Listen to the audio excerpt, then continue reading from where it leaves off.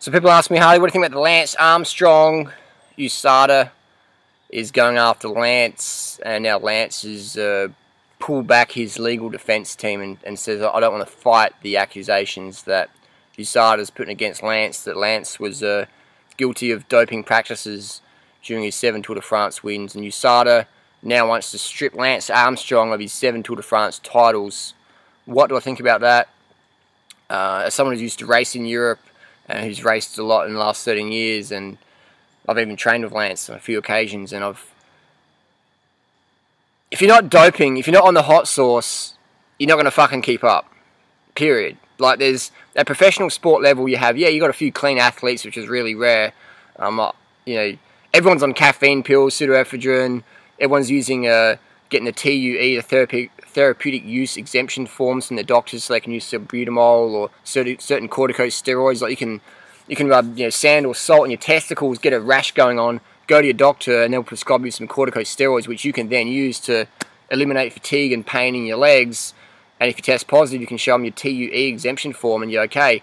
If you don't have that, you get a two-year ban. So the level of doping is just how it is. Everyone's on the fucking juice of some level, be it caffeine pills, a TU exemption pharmaceutical product, or if they can afford it, the real good hot sauce like the EPO, things like that. I don't recommend those things personally. I don't recommend those things at all because we know that you do drugs, man, you're going to be paying later on in life. Yes, you will perform better, and at professional level, at the top level, I'm talking world class people who are famous. If you're not on the hot sauce, there's no fucking way you're going to keep up. Maybe in archery, maybe in lawn bowls, maybe, but cycling, swimming, running, there's no fucking way you're going to be setting world records or winning the big purse races unless you are fucking doped to the gills on the best hot sauce around. That's just that's just how it is. And people are welcome to debate that, but those people who debate that are either lying or they've got no fucking clue what goes on at the top level. I'm not saying anyone who dopes is a bad person. I'm just saying that's a business choice, professional choice. That's just how it is. If you're not doping, you ain't going to fucking win shit except for your local 5k race that has no prize money, like I, I win. That's just how it is, man. But, you know, it's uh, drugs is part of society. The person who drove my lychees, the, the truck driver who drove all night long to drive from the, the Florida farm up to New York or whatever, would be popping caffeine pills or whatever to bring my lychees to the table. Drugs is part of society. I'm not saying it's a good thing. I'm just saying the sooner we acknowledge that drugs is just how it is, and all the superstars are fucking juiced to the gills, man. All the Olympic superstars juiced to the fucking gills on the best hot sauce. Either government, state authorized, or through personal doctors and stuff like that. If you're not on the juice, you ain't gonna win anything big. Simple as that. You're not gonna be front page newspaper, clean athlete, ever. Except for maybe archery and lawn bowls. I admit, yeah, they're the professional sports where you might be able to be clean. But even then, people are taking beta blockers to lower your heart rate. They're taking stimulants to focus the concentration. So you've got low heart rate, focus concentration, better aim. So we're still doping in those sports. What's to do with Lance and that? It's uh, he's not cheating, man, because everyone's on the same page as him. Everyone's on the same page as Lance, and I think it's a waste of money, taxpayers' money, etc., to chase Lance when Lance has done such good for cycling in general. the mosquitoes have been screened. Even the mosquitoes agree. I think it's a waste of money. Like, everyone with a fucking half a brain knows Lance is on the hot sauce. I don't, I, you know, definitely, my opinion, yeah, definitely. I don't think he's a bad person for doing it because that's pro sport. That's what you choose to do. Everyone else at the top level's doing it. There's no one in the top 10, top 20, top 30 in Tour de France who's riding with no hot sauce. you, can't, you can't, man. You can't put out those watts per kilo. There's no one in the Olympic finals swimming or running who's not on the hot sauce. You know, if you're finishing the same lap as everyone else, you're on the juice, man. You're fucking on the juice, and that's just how it is. And again, it doesn't make someone a bad person. They're not cheating because everyone else is on the same page. People like USADA's trying to pretend that everyone else is clean, but I think they're just pissed because Lance has passed over 500 doping tests. Lance has been cool with that. T tested, you know, okay, tested negative in over 500 doping tests. I think USADA's just pissed that that indicates how shit job USADA's doing on doping.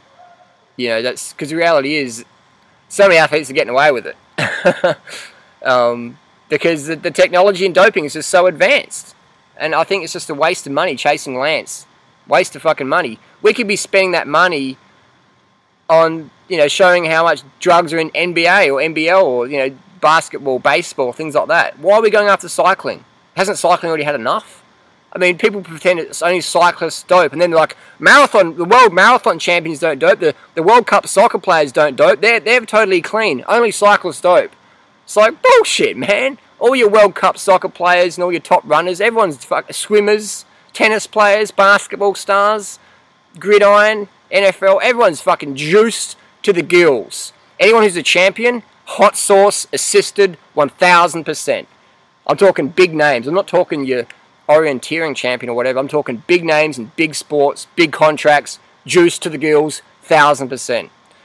So just so I'm clear on that one. So what do I think about the whole issue? They're going to strip Lance of his seven Tour de France wins. I think it's... And then who are you going to give it to? You're going to give it to the next person who's on the hot sauce. It's not... Lance isn't cheating. He's not cheating, man, because everyone else is on the same page. I, I don't know what it's going to take for society to understand that, that drugs is part of society. You know, it's almost like the, the mainstream status quo wants to pretend if we catch a few athletes, if we catch a few cyclists on drugs, then we live in a clean society. Meanwhile, we'll let fucking you know, certain countries have fucking nuclear weapons and all shit like that, but we'll distract ourselves and uh, go after a cyclist. Let's not get people cycling to work now. I don't know, man. It seems like the world is against cyclists. Um, you know, don't bring your bike here, don't park your bike there. The world, something about cycling is that status quo people freak out about that. And we having a chat the other day, someone said, oh, but yeah, only cyclists use drugs, Harley. I'm like, fuck, you got no idea, man all your swimming gurus and swimmer stars and your Weet-Bix packet superstar athletes are all hot sauce to the gills to get that you know Wheaties packet contract photo. That's just how it is. And uh, so, should we allow doping in sports? No, I don't think we should. But what we should do is just uh, let people know that that's just how it is. It's business as usual. Just like the truck driver who bought my light cheese was probably pumped up on caffeine pills to stay awake. If you can't get the job done, you lose your job. Everyone's drinking coffee, doing cocaine, Wall Street, whatever, to, to do the hours, the crazy stuff to get the job done.